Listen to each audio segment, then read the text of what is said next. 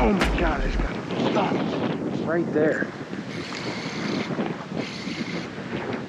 Golly, he choked it. I can feel him fraying it. He cranked that thing.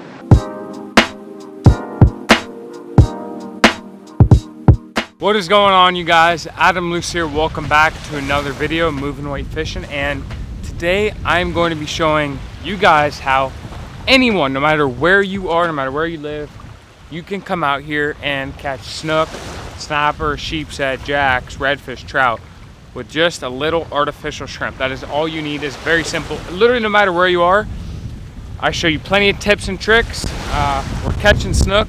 I actually had a lot of fun. Let's go ahead and dive right into the video. All right, boys, well, it's blowing.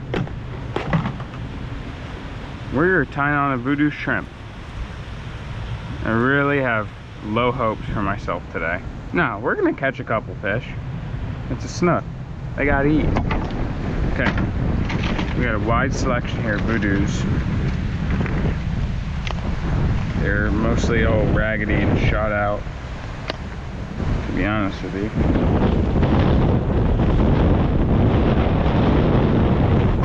Alright. Oh wait, it's ripped. Oh, golly, killing me here. Killing me here. These are very raggedy-esque.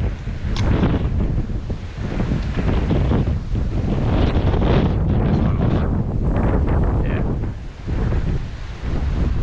Alright, a little rusty on the hook, but it'll work. Yeah. Just tying a little loop knot. God, it is blowing, boys. Like, you ain't never seen it blow like this.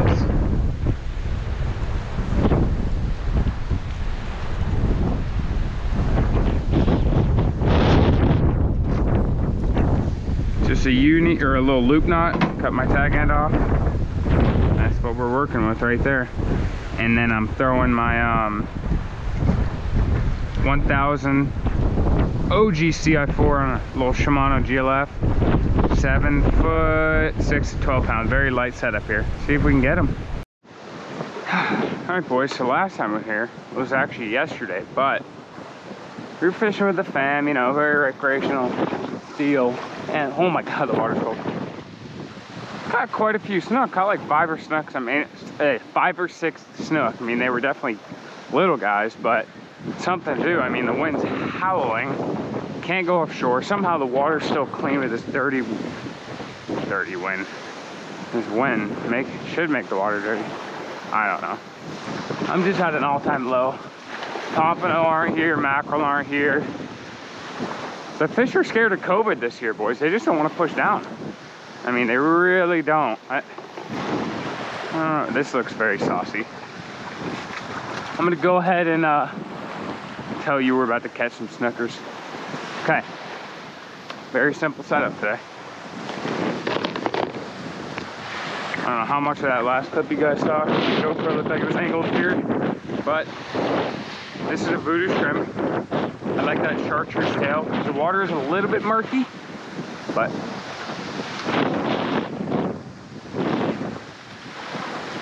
and we also got um, it's like 30 pound leader. We got about maybe two feet of it.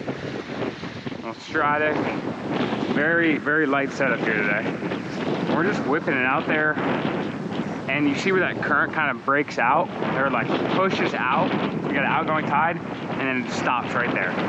I know the snooker be sitting there waiting for a little bait, something to ambush, you know? They were eating live shrimp yesterday. Makes me, I mean, I've never done this but I'd only be able to imagine maybe the artificial shrimp. Just popping it off the bottom, best I can. Sorry you got this glare too, sun to my eyes as well. So we got wind against tide. We got an east wind blowing my line. You see my, you see the giant bow on my line. We got tide against wind. Tide's going out, east wind's coming in. Raggedy. I think I just have to work it a tad slower. Um, I was working it kind of fast. The thing is when this water's super cold like this, I mean the water's like 65 degrees. That's cold for Florida. Um, you gotta fish your artificial slow. That's why shrimp in the wintertime, this time of year, works so well because the fish, the shrimp aren't fast baits in the first place. And the fish are so like lethargic from being cold that they just want to bait very subtly them. So I'm gonna work this shrimp tap it slower and see if uh, I can start getting more bites. Oh my God, I just got thumped right there. Golly, he choked it. I can feel him fraying it. He cranked that thing. Don't fray me off. Low guy, but dude, did he freaking... Oh, it's actually a decent little fish. I was getting very... He's gonna fray me off. He choked it. Oh boy. Let the fight begin on the 1K. Oh, oh boy. Dude, when I tell you I got thumped from Narnia, oh my god. I was not ready for that. I was uh, getting a little depressed there, boys. I've had two bites, really slow, and uh, that thing came out of nowhere. He's sitting real shallow. He's like five feet. It's a slot fish all day. See if we can keep pinned. Come on, Johnny. Let me get a new pair of shoes, Gary. Let me show you off to the YouTube land. Ooh. Oh yeah, oh yeah. Golly, he's gonna frame me off. 30 pound leader is, uh, you know, not the ideal situation right now.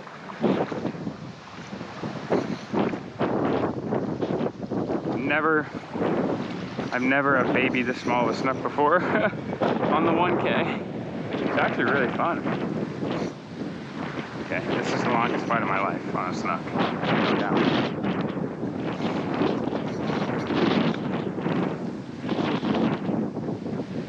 On, you son of a gun. Oh, he's giving up. He's giving up.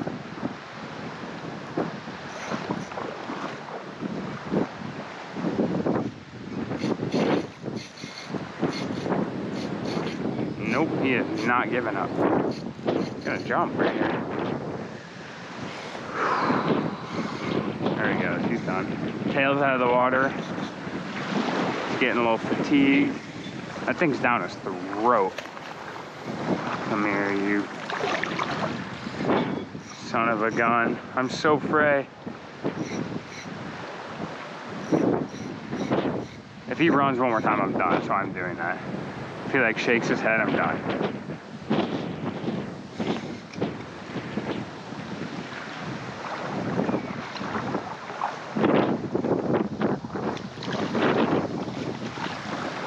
Oh, got him. He's not slot. He's just under. I mean, it ain't but it's a beautiful little snook. Look what happened to him. Something definitely happened right there. I don't know if that was a dolphin or what, something. This is a warrior. Okay, let me show you guys why I was, okay, hold on. Holy smokes. That little shrimp is in there, Johnny. Let me show you guys why I baby this fish so hard. Look at that shrimp. Nowhere to be found. Look at my leader, how fray. Beautiful little snook. Like, like if we can get a couple more. Um, gotcha. Oh, Voodoo got it done. Hey, it worked. Beautiful fish. Go ahead and release her. So instead of like bouncing, I kind of was like crawling on the bottom. Probably like a 26 inch fish. Fun on the 1K.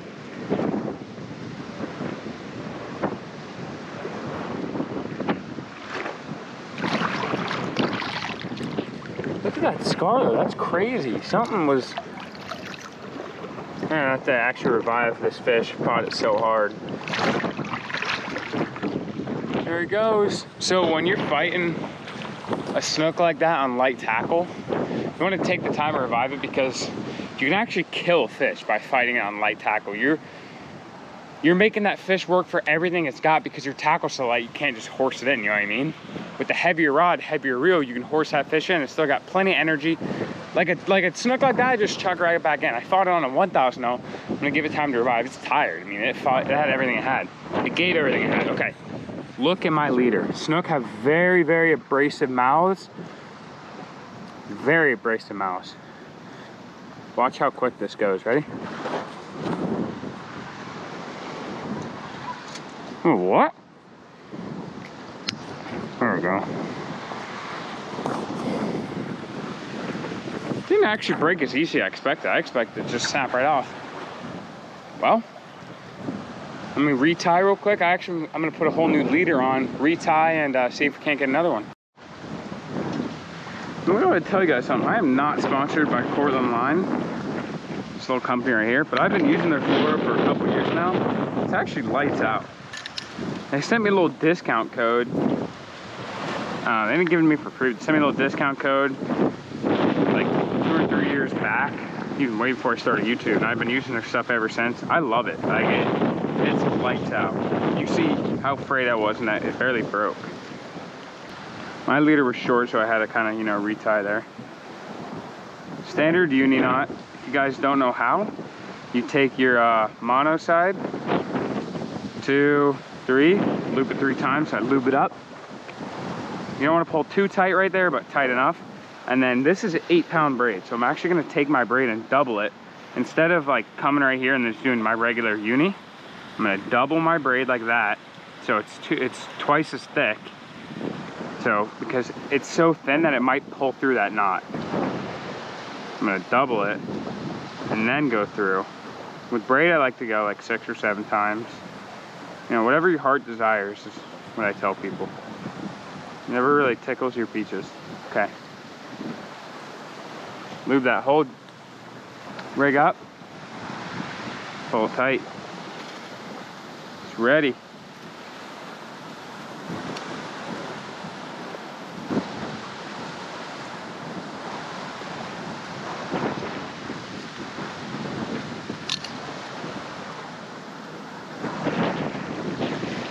You know, keep your line nice and then the cut for the boards here.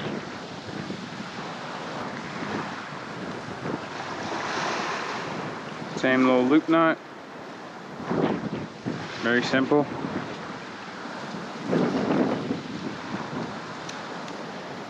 Got my tag. Go catch us another one, boys. So it's actually kind of interesting. What I just did there, I switched up my technique for how I was fishing that that voodoo shrimp. And uh, I did the same thing I was doing in the Keys with my buddy John and David.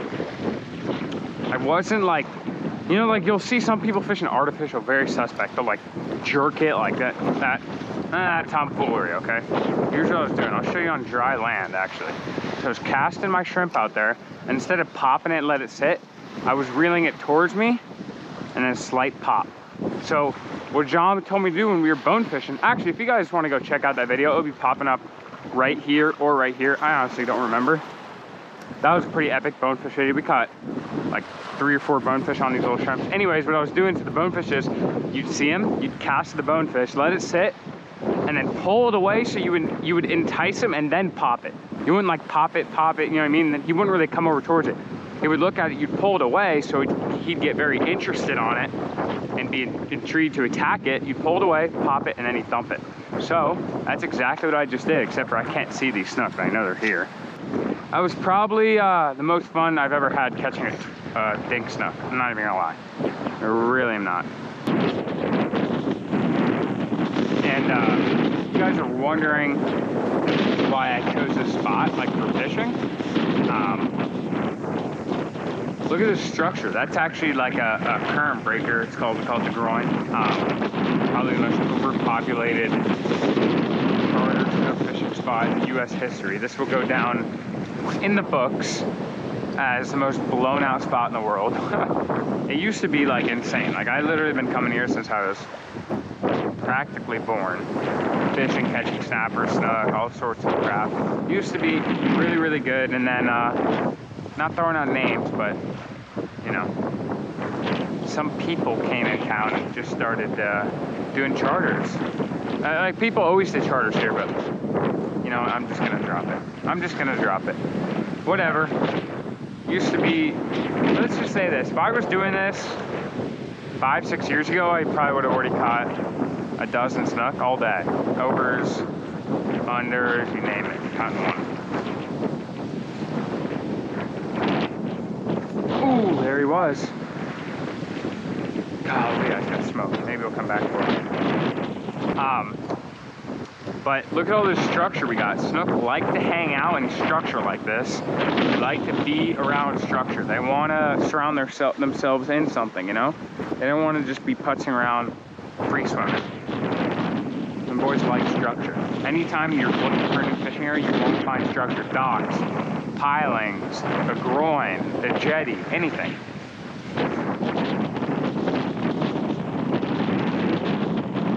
There we go A snapper or something? Oh no, micro snook. Micro snook. Wow. Well, size definitely varied here, boys. We went from 26 inch common snook to uh, micro, golly, that thing's called. That's actually a sword spine. That is not a common snook.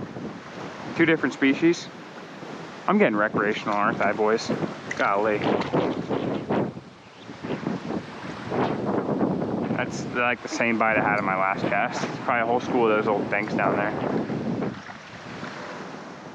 telling you, the slower you fish your bait, that fish is cold, man. Them, those things aren't aggressive right now. They just want something literally putzing past their face.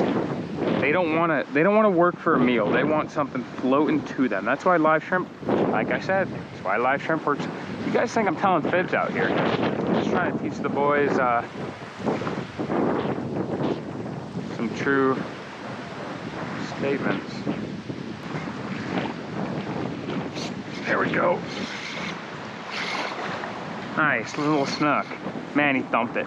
You guys can do this anywhere too. Like, I'm telling you, anywhere there's structure this time of year, you, you can throw little shrimps, little, uh, these airing out, little um, bucktails, anything.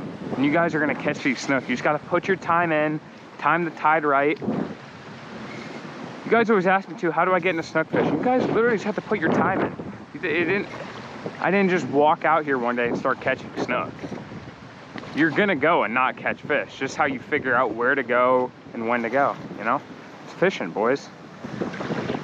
Wow, little petite snook there. Smoke the shrimp.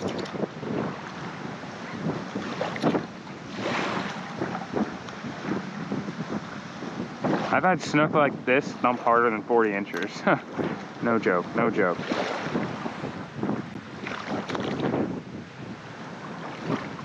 Little beauty.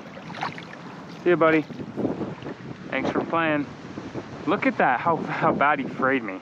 That's literally off of a dink snook. I have to retie. I think we figured out a little something there, boys, though. I think we did.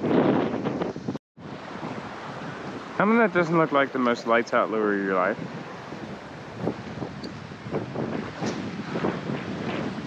That's money cast, baby. That's a money cast.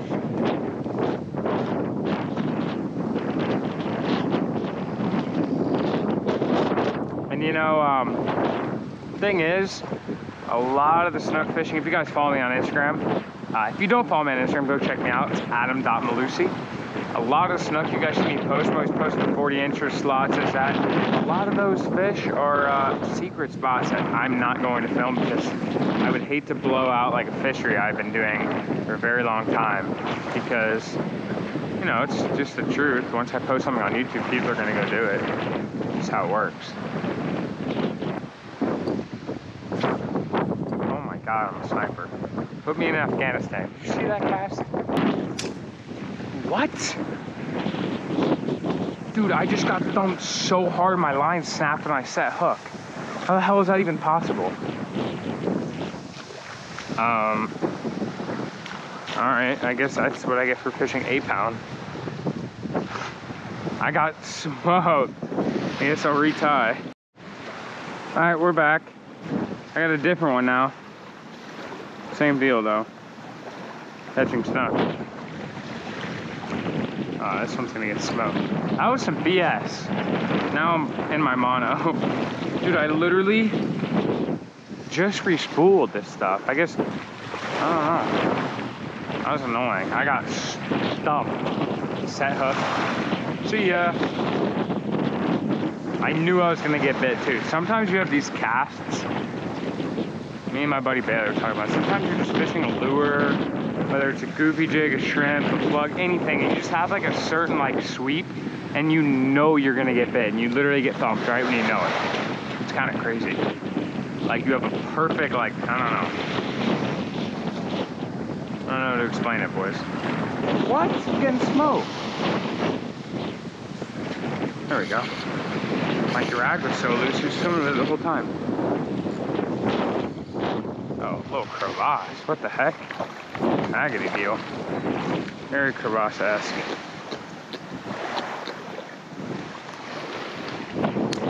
Exotics. Oh yeah, that's a snook right there. Watch this.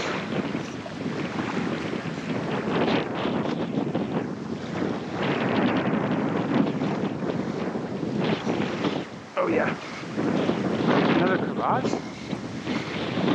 What's the deal with these hardtails? Wow, another crevalle best buy. They're aggregating, boys.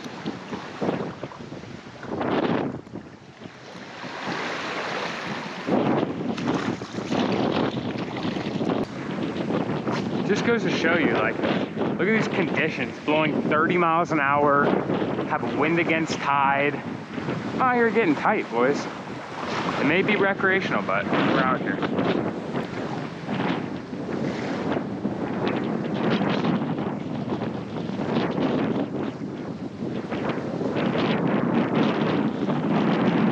Oh yeah. Oh yeah, nice enough. I mean, nice for our conditions here. He smoked it. Was sick little eat. Definitely not a nice one, but don't. I'm telling you, dude, these little ones thump it so hard. Little sword spine. Bite's starting to pick up as the tide slows down, and look how white. Hold on. Look how white that snook is, bro. In the sun there. That is the whitest snook of my life. Little sword spine. See you, bud. Let me know if you guys like videos like this. I'll, I'll come back here and do this. I come back here throw other lures for you guys. Show you guys different techniques on how to fish different lures. I mean, there's different techniques for everything. As you can see, this is what gets bit.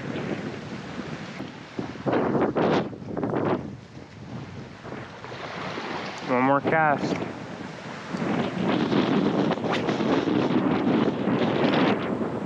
Money shot.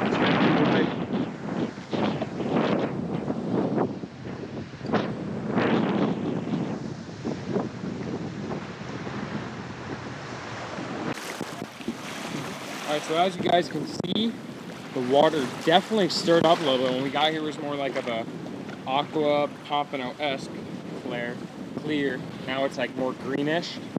Um, I actually got bit on that last cat. When I said last cast, my GoPro died. I got, I literally got bumped and my GoPro died. I ended up, he actually came back for it. I ended up catching him. It was like a, another dink, like a 15, 20 inch snook. Um, you know, very dink-esque. But it's a beautiful day out here. Very beautiful day. Um, tide slowing down. Those fish aren't gonna. Those fish are not gonna bite when the tide slows down. I, I casted probably another 10, 15 minutes, and it was slow. I didn't get any more bites. So we have that east wind blowing the water in, and we also have an outgoing tide, so it's slowing, slowing down the tide quicker than it was originally supposed to be slowed down. So I really only got to fish for about I'd say 30 to 45 minutes, give or take. I still had a lot of fun, whatever. Um, I really, really appreciate you guys watching this video. If you learned a thing or two about fishing with artificials, um, or just snook fishing in general, drop a comment. Let me know. I think I was pretty informational in this video. I'm usually not. I'm usually more just like me killing a lot of fish and not talking in the camera, but you guys like to learn and I, I want to help you learn, so made a little video for you. Um, drop a comment. Let me know if you would like to see me make more videos like this because I, I like making it. It's easy on me. I don't, you know, it's easy on me. I don't have to go offshore and kill a crap ton of fish. I can just stay right inshore and I like talking to the camera like this, like teaching, you know what I mean? Let me know if you learned something. Seriously, let me know. Um, appreciate each and every one of you. If you guys aren't already subscribed to the channel, go ahead down below and hit that subscribe button, drop a like. If you liked the video, drop a comment, let me know what you thought of the video. It means a lot. Share with your friends and family. We're trying to grow. We are almost at 25,000 subscribers. When we hit 25K, we have a huge, huge giveaway. Huge giveaway. No joke there. Um, probably the biggest 25 giveaway you'll ever see. With all that being said, thank you guys. Till next time, moving weights out.